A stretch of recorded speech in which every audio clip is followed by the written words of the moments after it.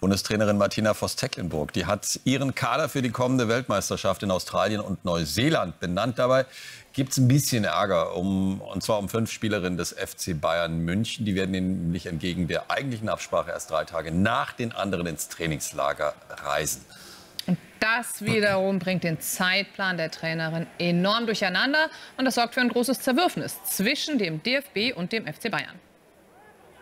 Ich arbeite jetzt schon über 20 Jahre beim DFB und kenne den FC Bayern als einen sehr verlässlichen und verbindlichen Partner. Und äh, ich glaube, wenn man Absprachen trifft, dann wurden die bisher immer eingehalten.